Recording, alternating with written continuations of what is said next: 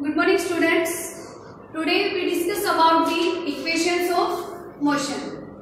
Our first equation of motion is V is equal to U plus A T. To derive this equation, we consider that an object is moving with a uniform acceleration. For this we take the graph between velocity and time.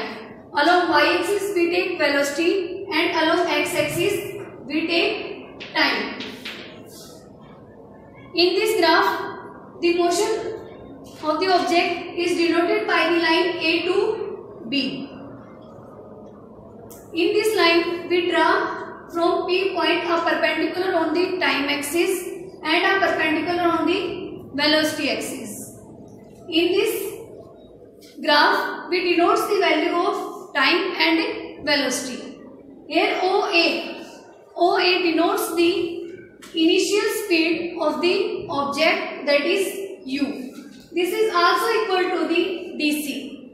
OE denotes the final velocity of the object which is v and this OE is equal to the DB. OD along the time axis it denotes the value of time and OD is equal to AC. To calculate the first equation of motion, here first we take the slope of the velocity time graph. Here we take the value of tangent theta in this triangle ACB. The slope of this triangle denotes the value of acceleration of the object.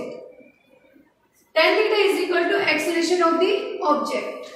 Tan theta is equal to A which is equal to the value along the y-axis that is CB by value along the x-axis that is AC.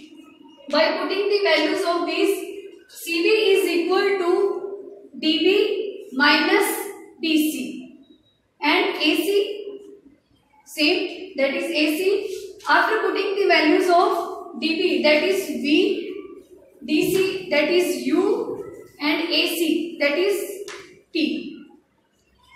By solving these terms A is equal to V minus U by T and from this we calculate the value of V. V minus U is equal to AT and V is equal to U plus AT. This is the required first equation of the motion. Thank you students.